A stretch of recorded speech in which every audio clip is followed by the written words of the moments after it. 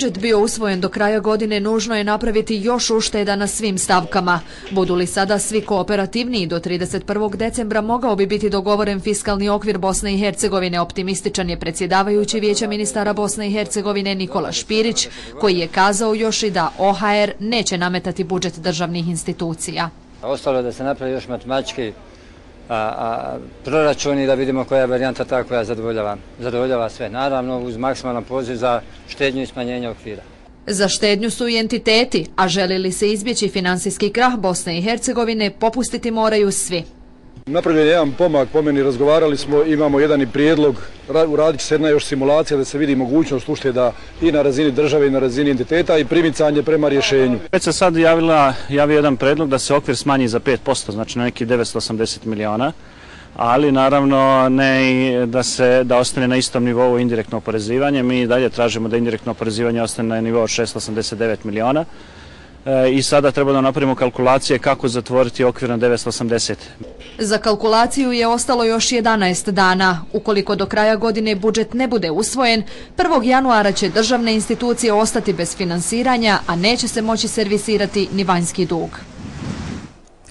Današnje optimistične najave da će budžet za narednu godinu ipak biti usvojen do 1. januara isprovocirale su i ekonomske analitičare iz naše zemlje da progovore o ovom problemu.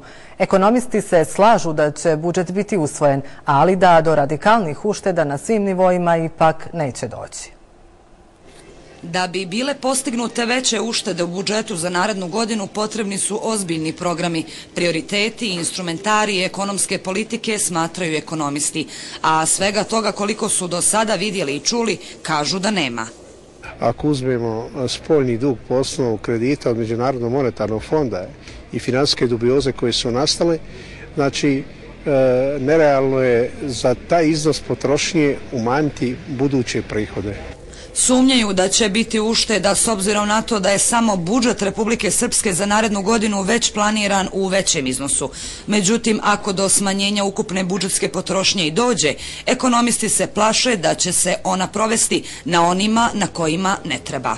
Očito je ako bude kakvih e, ušteda u budžetu da one, da one neće biti na onome što je neophodno, a to znači na, e, na potrošnji administracije, nego će se vjerovatno zakinuti ili socijalni, ili kulturni, ili sportski, ili infrastrukturni e, programi i projekti.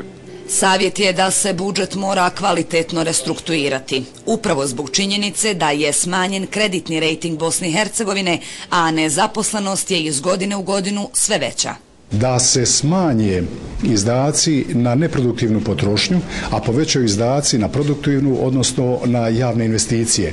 Jer samo to može osigurati adekvatan razvoj Bosne i Hercegovine u narednom razdoblju.